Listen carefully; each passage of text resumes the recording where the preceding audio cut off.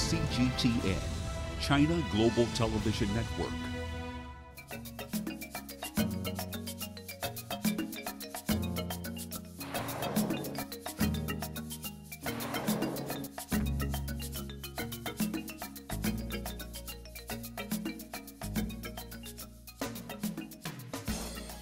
The Republic of Mauritius sits off the southeast coast of Africa. To most of the world, Mauritius is famous for its pristine beaches, turquoise waters, and wildlife that are unique to this tropical island. But beyond the palm fringed coastlines that circle Mauritius lies an even richer story. The story of a rising financial powerhouse, a vibrant and diverse tourism sector, and a masterclass in the fusion of the world's cultures. On this special episode of Talk Africa, we explore the stories behind the country's growth and the measures Mauritius is taking to mark its place in Africa and the world. I am Liu Feifei. Welcome to Talk Africa.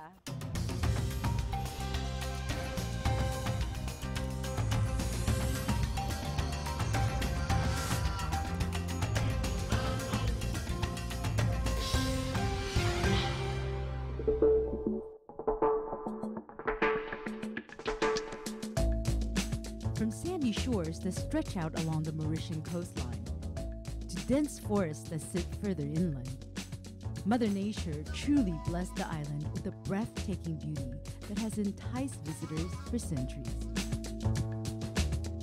And so, it comes as no surprise that for many years, tourism has been a key pillar of the Mauritian economy.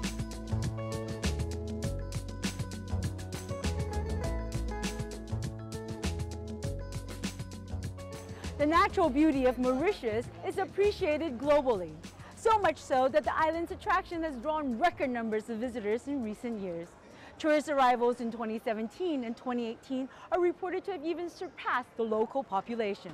So, what does Mauritius seem to be getting right in its tourism sector? I pose this and a couple of other questions to Mr. Arvind Bundhun, the man at the center of the Mauritian Tourism Promotion Authority. Arvind, thanks for chatting with us. Uh, let's get started with Mauritius as an island paradise. This place is gorgeous, but island paradise can be found elsewhere. Just nearby, you have the Seychelles, you've got Zanzibar and the Maldives. What exactly are the characteristics that makes Mauritius stand out? Actually, welcome. Thank you for taking your time to come and see us. If I had to summarize, Mauritius is beyond a beach destination. Okay, you have thousands of islands in the world with pristine beaches, with clear blue sky.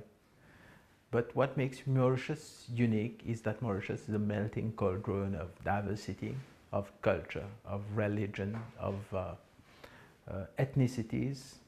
And uh, I think that's, that's one thing that we want to showcase the world. And you know, as the tourism industry has grown over the years, can you walk us through the different steps in the evolution of this business and also how it's diversified? Actually, tourism has proved to be one of the backbone of the, of the Mauritian economy. And tourism started those days, we were very Eurocentric. Most of the tourists came from France, from the UK, where you had direct flights at that time. And, uh, and slowly we diversified our market. That's where Asia is extremely important because I would mention that you have quite a good GDP growth in Asia and Asians are very thirsty of discovering exotic islands like Mauritius. And that's one of the reasons we diversified our industry and went into these emerging markets. We started, I mean, right, we started with hotels, with guest houses. Then you had hotels along the coast. And you shouldn't occult the fact that Mauritius is a beach destination and people want to stay on the coast. But nowadays, we've, we've seen a, a quite a, re, a, reversing trend, I would say. You've got more and more villas with the implementation of the integrated resort schemes and the residential estate schemes. And people are renting more and more. And finally, you have the, also the upsurge of eco lodges, which are very popular nowadays. Now, I want to talk about the different types of things that people can do in Mauritius. As you said, it's not just another beach destination where you can lie around. There are a lot of things to do here on this island. I would stress on the fact that, you know, Mauritius can boast of having very pure air. It's not only a beach destination where you have fascinating water sports, but the interiors of Mauritius are worth discovering. As I told you, within a radius of 50 meters, you have a mosque, a pagoda, a temple, a church. This is one of the specificity of Mauritius, you know. Secondly, I would say in terms of activities, inland activities, you've got loads of them. You've got, you know, uh, all these uh, lodges where you have zip lining, you have uh, um, quad biking, you have golf, which is extremely popular, you have uh, kite surfing, and actually sports is becoming more and more popular in this, uh, I mean, within our calendar of activities that we organize. I suppose it's good for the local Mauritians to be active and participating in these sports as well. Speaking of the local population, there's about 1.3 million people living here. And in fact, your annual number of tourists coming here exceeds your national population. And I understand the revenues um, as a percentage of the GDP is more than 10%. Can you tell us the role tourism plays in your economy and for your country? It's tourism, as I mentioned, it's one of the backbone of the economy. Huh? And you've got around 10% employment generated from the industry, direct and indirect employment. And, uh, and, uh, and tourism, our plan, our mission, our strategic plan is to grow by 20, 2030 to grow up to 2 million tourists. That's our objective. And uh, obviously, you know, there's a significant relation between uh, number of arrivals and the GDP. I mean, is there a problem with such a heavy reliance on one sector, though? No, we, we have quite a diversified economy, actually. The first, the backbone of the economy is still manufacturing. Secondly, is um, uh, financial services. Third is tourism. but we are try, trying to grow the, the tourism industry uh, substantially, gradually, and also uh, in a um, in a competitive manner actually. Are there any other downsides to the tourism business? You know, like everything in life, there's a good part and a bad part. And uh, I think uh, what we should mention is that we are growing, we are growing the, the, the industry gradually. We don't want over tourism, neither mass tourism. Mauritius stays is a luxury destination. It's in the top mind of the HNI, high net worth individuals. Our strategy right now is to consolidate our core markets. And at the same time, we're diversifying and going into these emerging markets. Like China is one of the examples. You know, the outbound capacity of tourism from China is enormous and we really want to capture a little bit of this market. Okay. Secondly, we went to Saudi Arabia also, whereby you know we have had a lot of campaigns, social media, traditional, conventional also, and uh, just to to strategize and to capture these markets. Well, it's interesting. What have you done to cater to the different needs and preferences of these different markets? Actually, this is this is a this is quite a challenge because you know Mauritius at a certain point of time was known to be very Eurocentric. The European has a different eating habit, drinking habit, culture than the Asian tourists. So, I mean, like, I would like to highlight that hoteliers and even Mauritians have put a lot of efforts in the uh, to, to cater for these market, to for these for to aspire to cater for this for these big markets. The United Nations has come out and said that climate change is a threat to island nations. What have you put in place to protect the tourism industry as we move forward? Yes, climate change is a big challenge for small islands like us. Definitely. What we are putting in place now is like in almost all properties, we are encouraging hotels to eco-label themselves or eco, uh, hotels and tourism residences to eco them to eco-label themselves. We've got a lot of energy uh, saving uh, mechanisms that are being put in place. The government is giving a lot of grants to all these uh, tourists or hotels to to to go and uh, embrace this this path actually. And you know, in terms of uh, the niche in the development of ecotourism around the world, has Mauritius done anything to capture this sector? Actually, this is the trend. That's one of the reasons you find a lot of uh, properties being built inland. And uh, I think Mauritius has a crucial role to play. We are known as a beach destination, but we haven't occulted the fact that it is the trend and we are encouraging people, uh, we are encouraging uh, investors to invest in these lodges or eco-friendly uh, tourist residences whereby, you know, you can attract the millennials looking for experience. Thank you. Well, we're off to go see Mauritius. Thank you so much for taking time to Uh, chat please with enjoy us, Arvind. Mauritius. Thank you very Thank you. much.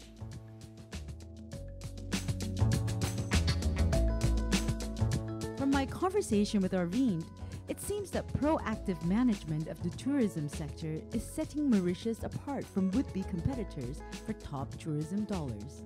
With many efforts steered towards ensuring that visitors of diverse backgrounds all get to enjoy a piece of Mauritius, it seems clear to me that Mauritius wants you to visit not just once, but again and again.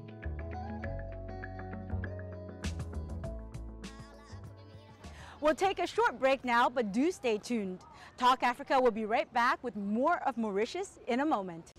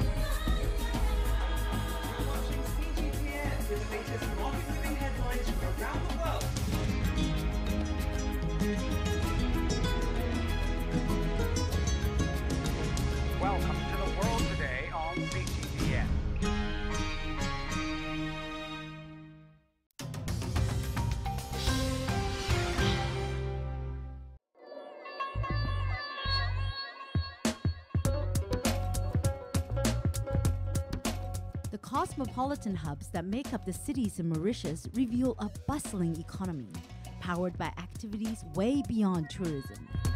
The literacy rate for this upper middle income country is estimated at 93%, and infrastructure is also developing, with funds increasingly being earmarked for the country's highways of growth. Altogether, an enabling combination of factors propelled the Mauritian economy to become one of the most competitive in Africa and the world.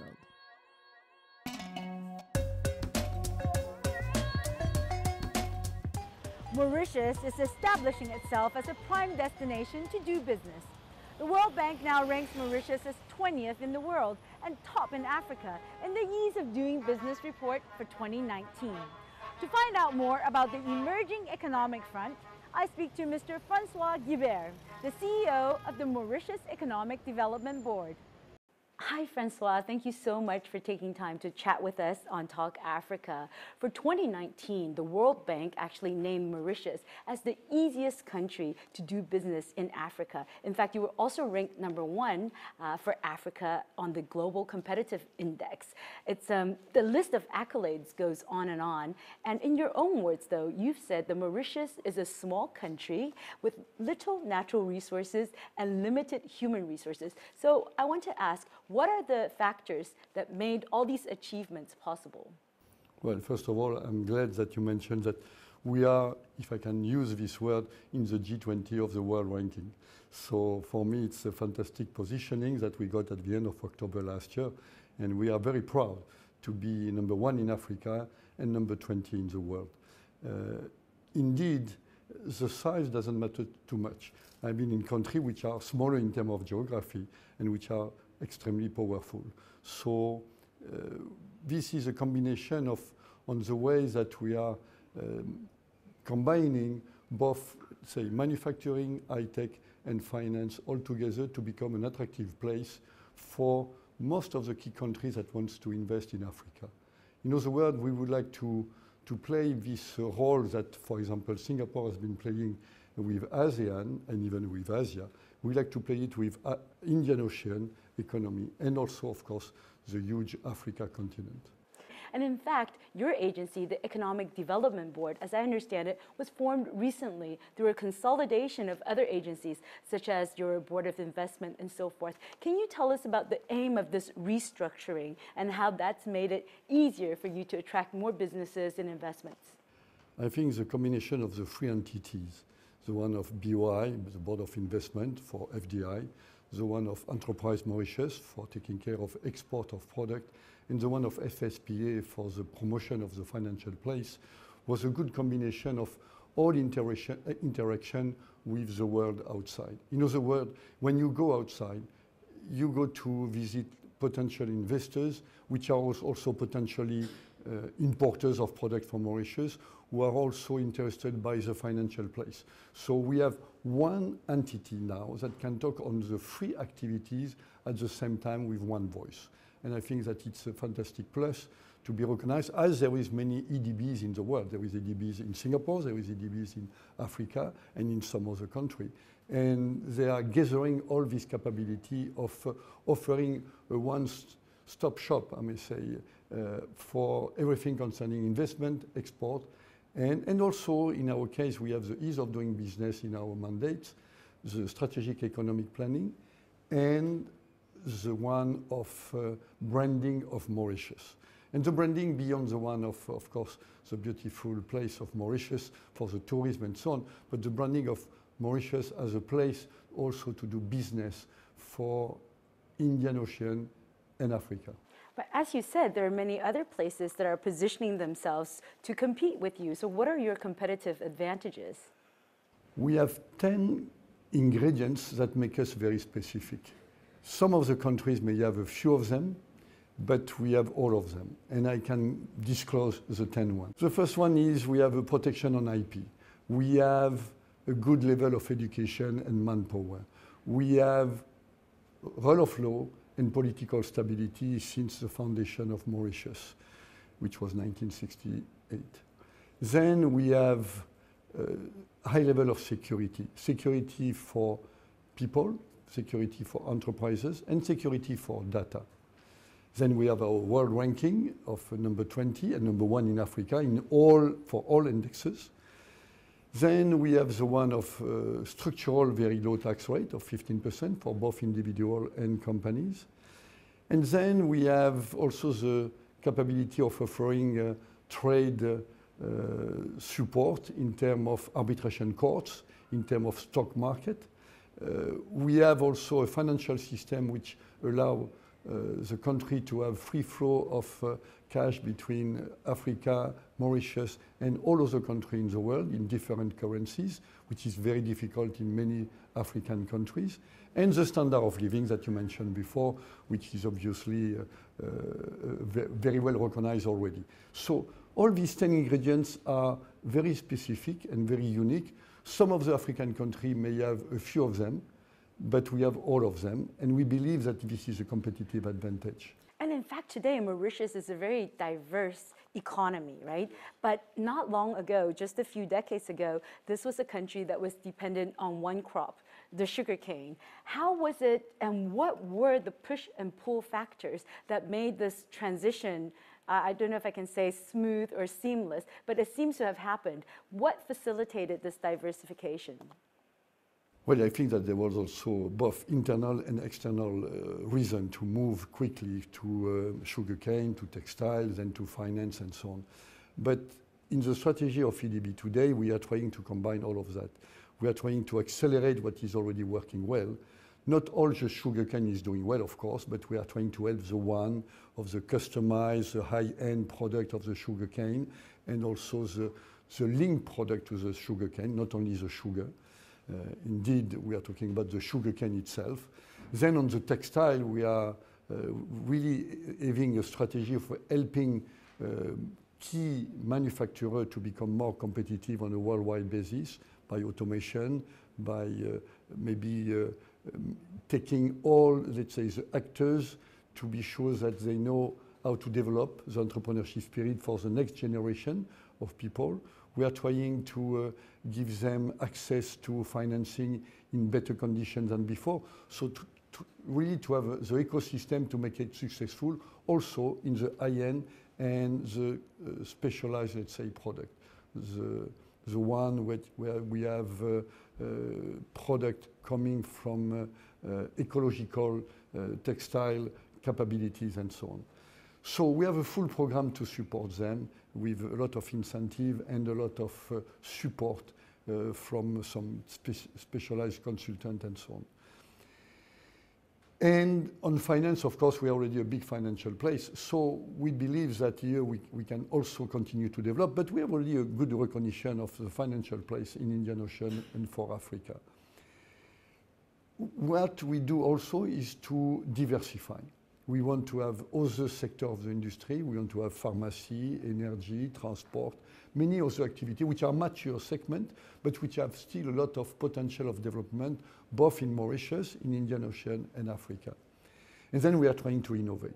So accelerate, diversify, innovate. Innovate in all key sectors, of course, of high tech at large. Whatever fintech, whatever biotech, whatever high tech in general, uh, and also in some sector like uh, the movie industry or in uh, some special license to, for the fintech to operate when there is no particular law and regulation to give them license to test their ideas. In other words, to develop the entrepreneurship. So that's the three major part of our strategy. And, and we do it on the three major block. The key pillar of manufacturing, uh, high tech, and finance. If you combine both of them uh, all together, generally you, you, have a good chance to, to have some kind of success. And for domestic economic growth, I believe what you said is you wanted to have a high income economy that's inclusive, sustainable, and independent. Can you break that down for us and can you tell us where the gap areas are in achieving that vision? What I can say is that indeed there is a combination here of local and international players. And that's what makes the success of every key island and key economies that want to uh, really uh, become very powerful and independent. So the idea is indeed to, to be open uh, to a lot of new ideas, to be an education hub, to be a retirement hub, to be technical hub for Africa, and therefore to become more and more independent with key players starting to set up their operation in Mauritius. In fact, the key ingredients, the 10 ones that I, I was mentioning before, are indeed to bring regional headquarters from key potential investors from Europe, from Asia, in particular India, China, and Japan. And we believe that uh, a lot of the key position in an organization, like accounting and finance, IT, HR, communication, training, all that kind of staff function can be safely and smartly be based in Mauritius and not be duplicated 54 times in Africa. So uh, manufacturing and sales, of course, could be in Africa itself. The market is here, and we understand that. But we believe that uh, uh, having a safe and smart place to operate your regional headquarters or even your competence center, depending on the size of the company, but uh, will allow you to operate safely, smartly, And this is consistent with the Africa strategy that you've articulated. And one can almost see through this new Africa strategy, Mauritius taking a move further, whereas before it was just a platform for investments going into Africa. But it seems like now with the Africa strategy, you actually want a piece of the action. You're trying to play a leadership role through SADC, through COMESA. Is that, is that in fact the case? What is your Africa strategy?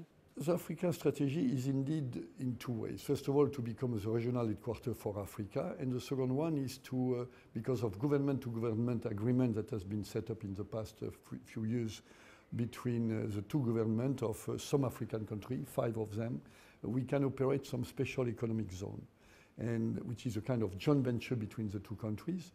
And therefore, we believe that uh, that will help both our local investors and international investors to start to operate in the key strategic countries of Africa to develop their business locally. And we believe that uh, we are the only country maybe that can open, let's say, the door of such uh, African country to potential investors worldwide. Now, internationally, on the international perspective, you have articulated that Mauritius is going to try to replicate perhaps the Singaporean economic model and maybe even one day surpass it. You talk about other places in Africa. There's a country, Rwanda, which I'm sure you're aware of, that calls itself the Singapore of Africa. There's also South Africa and Kenya waiting in the wings. So, what does Mauritius have We- We, don't want to compete with Singapore. The, we want to be sure that we can extract the ingredient of success that they have been enjoying in the past 35 years to be sure that we can uh, not copy and paste, but adapt it to our context.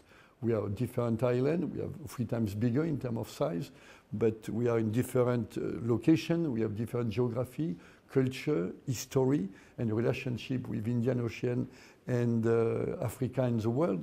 So we have to make it our way.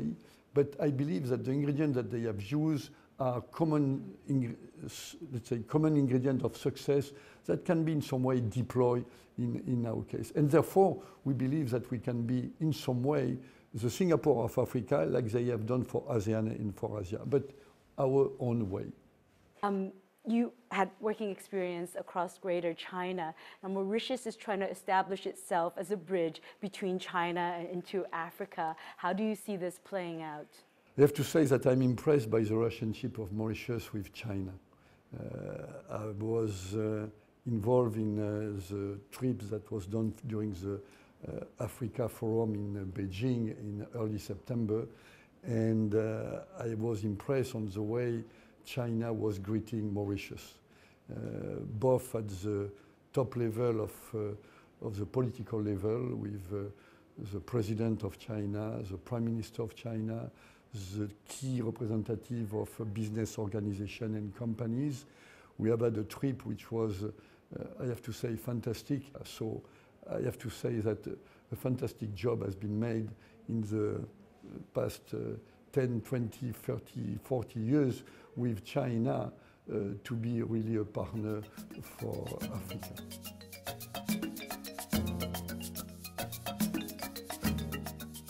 Francois' assertions of the promise Mauritius has to offer are evident from indicators such as the UN's Human Development Index, where Mauritius ranks number two in Africa.